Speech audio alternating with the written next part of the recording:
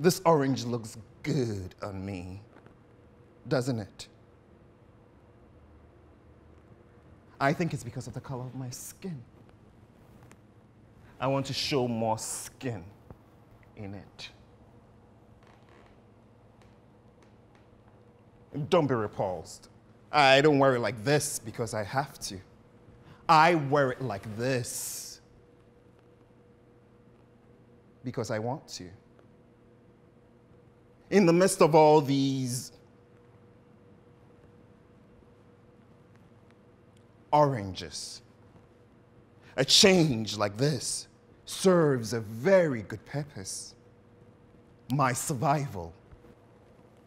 And if you're looking at me and thinking, poor boy, he must be someone's bitch, I'm not. Well, I was. I was. But that was before I got here. Here. A home that is far away from the everyday I grew up knowing. Waking up to the cock crowing.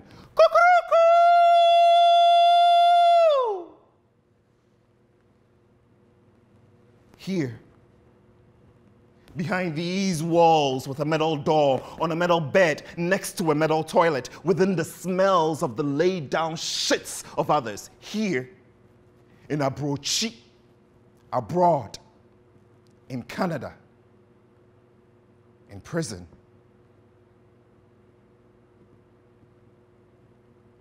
I was scared my first night here. I'd heard stories of what happens to men like me within walls like these.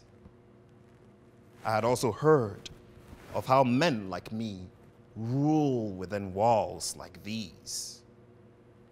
I have always wanted to rule in heels. I've been in here 1,123 days, counted in years and months and weeks and days and hours and minutes and seconds and, and regrets and tears and pain and shame and change.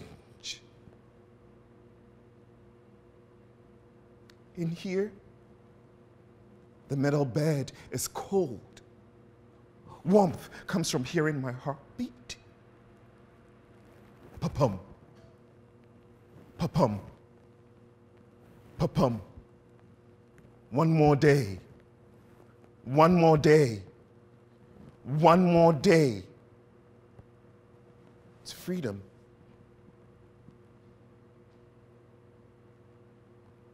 Tonight is my last night in here.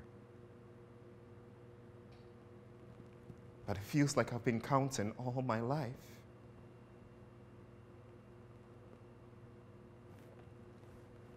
Where I come from, when a child is born, that child is kept indoors for no less than seven days.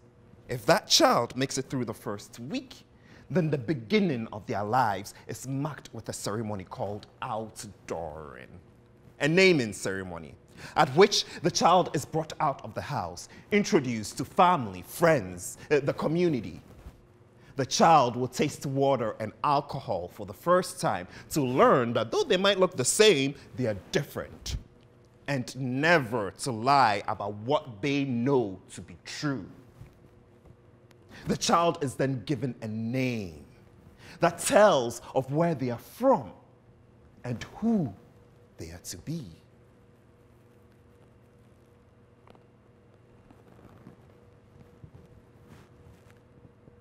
30 years ago, a mother was blessed with a child in the likeness of God.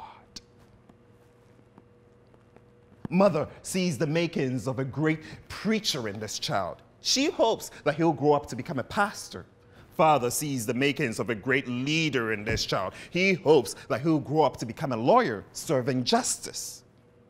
A week later, on the day of his outdooring, the child is named Agyeman, he who saves nations. Agyeman follows the word of God. He becomes a lawyer at the age of 24, but at the age of 27, he finds himself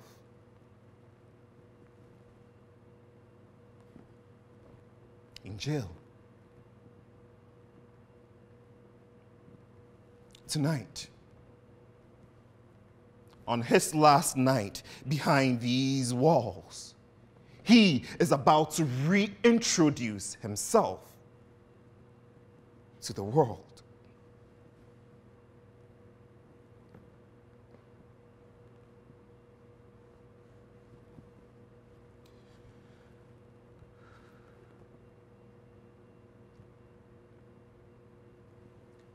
Akwaaba, welcome to my outdooring. Come back with me to Ghana, West Africa, where the young Agyeman was born.